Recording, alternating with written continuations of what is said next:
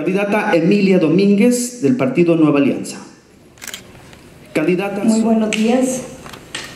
Hay un dicho que dice que la corrupción somos todos, cosa que no comparto, ya que además para que haya corrupción se necesitan dos. Invito a la ciudadanía a seguir trabajando con las familias en el tema de los valores y preponderar sobre todo en la honestidad, porque esas serán las únicas armas con las que podremos contribuir a tener mejores hijos y mejores ciudadanos. Muchas gracias. Gracias, candidata. Buenos días otra vez nuevamente. Yo sigo insistiendo que la educación y los valores en la familia son la parte más importante para que nuestros hijos salgan adelante.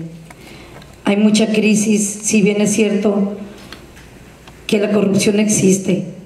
Se ve de manera diaria en el municipio y seguramente si echamos un ojo al Estado y al país, por supuesto que también existe. Pero, ¿cómo podemos contrarrestar la corrupción? ¿Cómo podemos eh, tener un antídoto para la corrupción cuando ésta se genera desde la parte humana. Y esa parte humana viene generada también desde el seno de la familia. Sigo insistiendo que la educación y los valores son las armas, son las herramientas. Precisamente en una de mis propuestas, en el tema de las mujeres, está la preocupación de que hay que mejorar las percepciones laborales de ellas, ya que a pesar de la tan trillada palabra de equidad e igualdad que existe en las leyes, estas todavía aún en pleno siglo XXI no se respetan.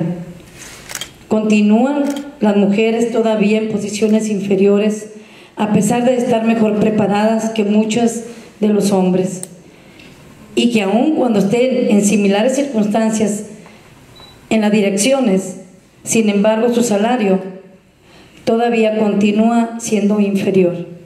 ¿Es cuánto? Por supuesto que muchos de los temas que aquí se están exponiendo tienen que ver con el tema de las familias y de las mujeres. El tema de la vivienda, que es algo muy importante en donde en el municipio de Ahome hay una gran carencia. Lo vemos todos los días cuando los precaristas salen a la calle. El tema del agua que tiene que ver con la salud. El tema de lo que hace rato decía Marino.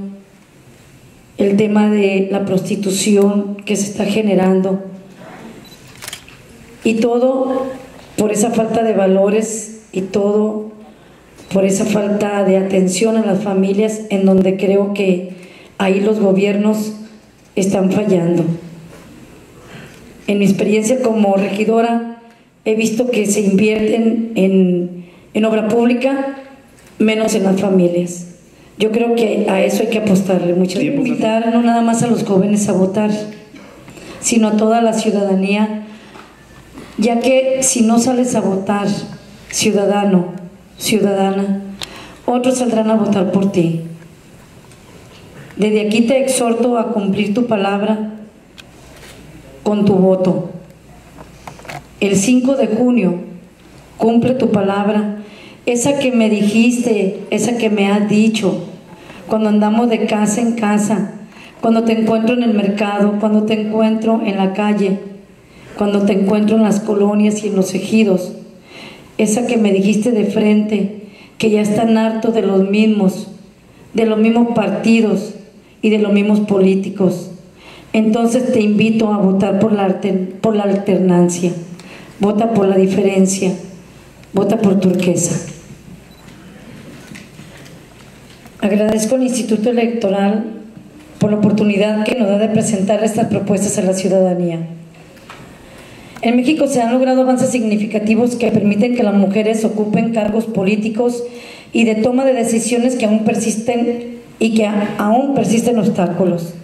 De 25 países que integran Latinoamérica, México ocupa la posición número 20, por lo que impulsaré la igualdad de género como ruta que permitirá que conquisten más posiciones de poder.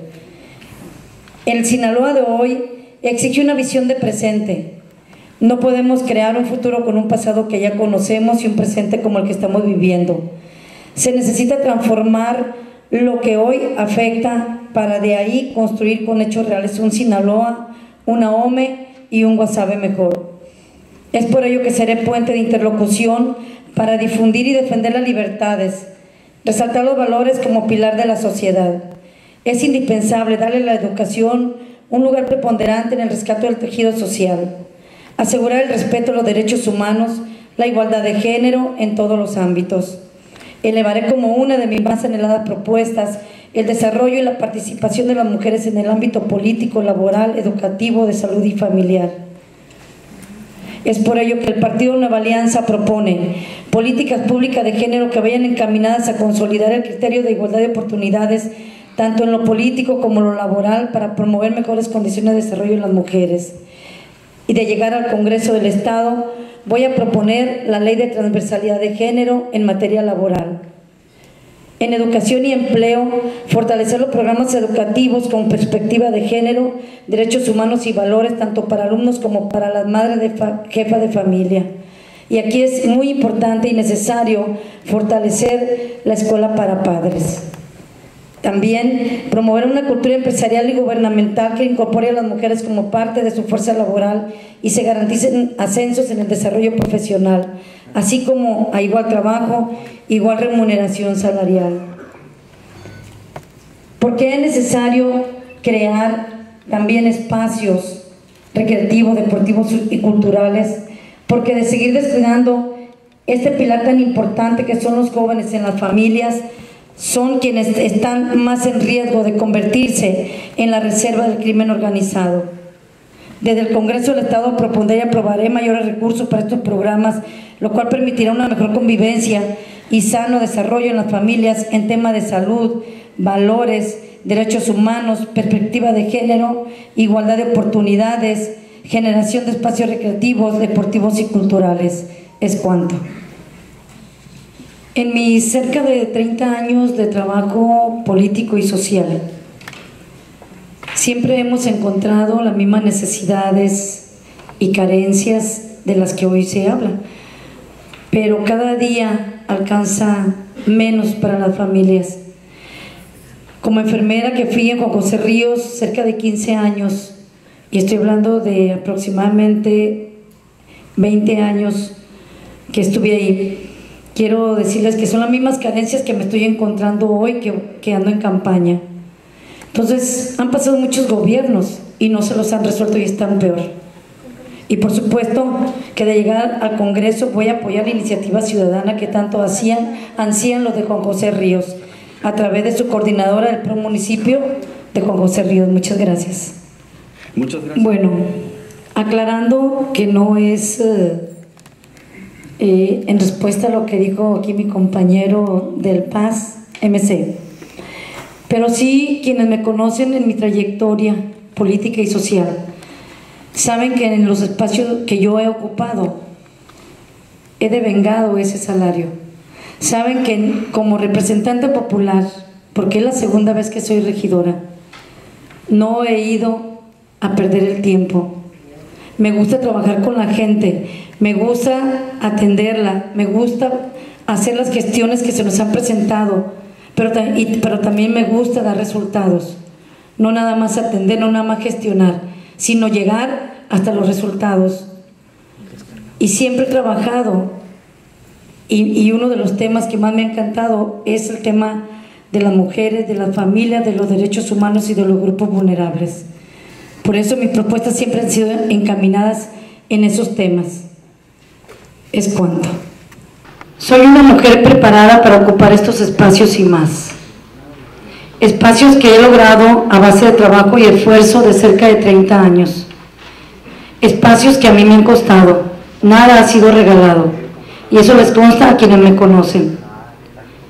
Y estoy en donde estoy precisamente, precisamente a base de perseverancia y esfuerzo. ciudadanos y ciudadanas. Si vas a seguir haciendo lo mismo, vas a seguir teniendo los mismos resultados. Si no estás conforme por quienes te representan, cumple con tu palabra este 5 de junio. Vota por la alternancia, vota por el Partido Nueva Alianza, que seguro estoy.